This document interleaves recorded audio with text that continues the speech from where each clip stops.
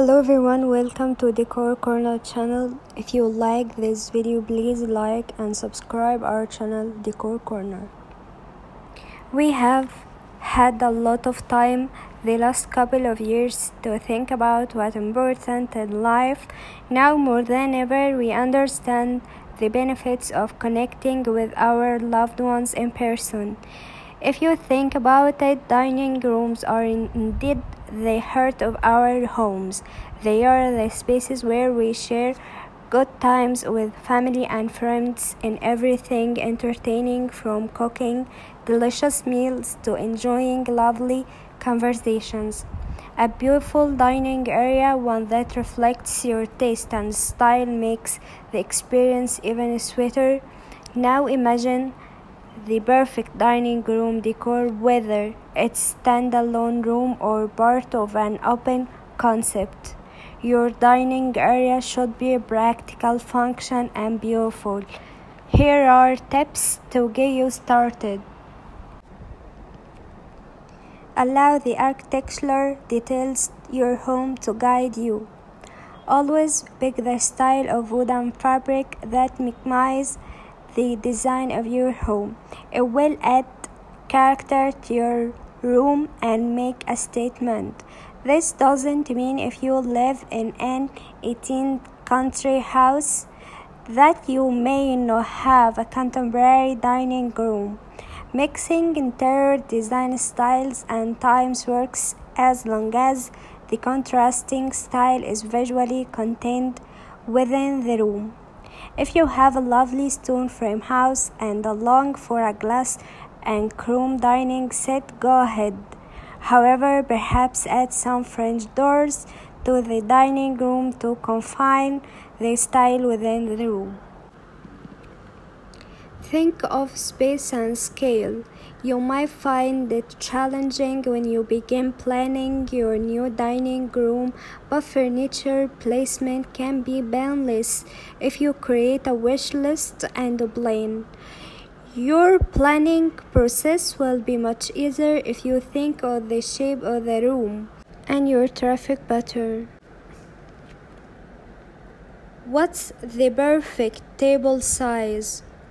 42 is the ideal width for a table. It allows for the perfect table setup, including dishes, table centerpieces, glassware, candles, wine bottles, and great conversation. Remember, a dining room without a dining table is only a room. That's why it's essential to decide what the purpose of your room will be. Is it for eating, entertaining only, or will it be multifunctional, such as using the room as a workspace or gaming area? Your decision will help you determine the size and shape of the table and other pieces you will need for the space. It's important to keep in mind the number of people you will be hosting at one time. A leaf extension of butterfly leaf is a great option when you have a new extra guests for dinner. Mix different styles of furniture. Interior design has come a long way. You don't always have to have the traditional table with six matching chairs. You can mix and match dining furniture in several ways. Try matching the middle chairs with two captain chairs at each end of the table. Another option would be to line three sides of table with the same style of a chair and then insert a long upholstered bench on the fourth side to get even more creative mix three different types of sitting. Mixing can go beyond furniture today's interior design rules say we can mix different wood colors as long as they have the same undertone you can combine different patterns and fabric colors as long as they follow the color wheel rules all you need to do is think outside the box. Your home is such an intimate space and should reflect your personality with a style in order to be successful in achieving this. You must put the time and effort into determining your preferred design style. Find the perfect area rug for your dining table. An area rug will define your dining space. Pick a material that is easy to clean like wool and hair on hide and then make sure you get the right size rug. The dining room area rug should be large enough for the table and chairs to fit about 2 feet of additional carpet around the table. Of course, we are talking about your dining room on a day to day basis. We are not talking about a couple of occasions a year when you have to break out the table's leaves for guests. If the dining area doesn't allow for the rug to be big enough, it's better not to have an area rug under the table at all. When the space is open concept between the living, dining, and kitchen areas, you sometimes have limited room. The carpet is lovely to have to define each zone and achieve separation. The dining room rug shouldn't overlap into the other areas. To learn more about choosing the right size rug for your dining room and the importance of texture, check out how to select the perfect area rug. Dining room light fixture. A dimmer switch should control the main light in any dining room. The dimmer allows you to turn out the full light when you need to clean and set up the dining area, then dial the light back down when you need to create a more intimate evening. Your dining room chandelier is the main focal point of the piece of your dining area from contemporary to traditional. There are many options and styles to suit your room design. The light over your table should reflect the table style and other furniture in the room.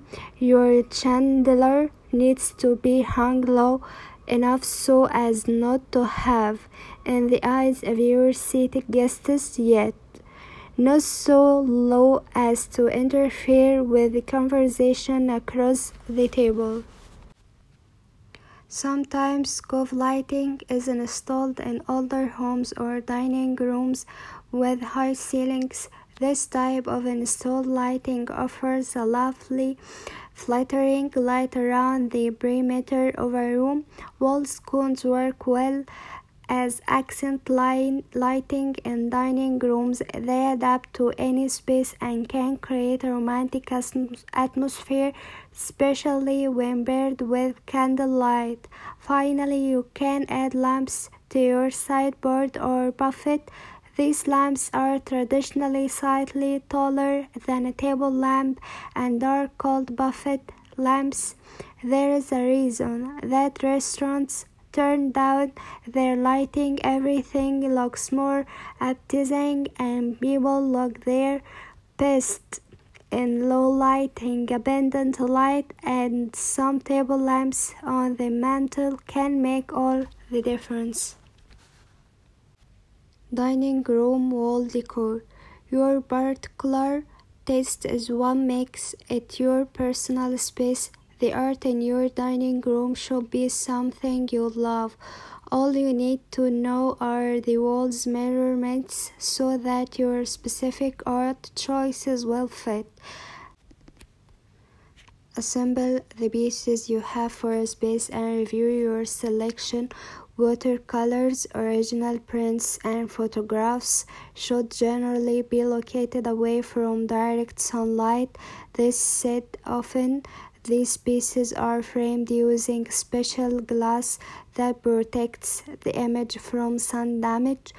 Begin your process by analyzing your available wall space. Generally, a small piece of art looks better when contained on a thinner wall. There are many art display options to choose from for dining rooms. A gallery wall a large mirror, patterned wallpaper, a green wall, a chalkboard, family photography, typography or work, a plate collections, shelves, a patterned window treatment, a big plant, or a mix of two or the above. The artwork for a room should be the last element placed in your space with to hang your pieces until your area rug hutch cabinet tables chairs and lighting are all in place don't be afraid to add mirrors and sculptural pits into the mix. Remember, this is your home. It's a reflection of you and your family when grouping pieces of art or accessories. Don't forget the rule of three. Check out tips on how to hang art properly for more ideas. The rule of threes say that things arranged in odd numbers look more appealing and memorable than even numbered groupings. 3 seems to be the magic number, but 5, 7, and 9 work nicely as well. Choose 3 objects of varying height and place on shelves, sideboards, and any other surface.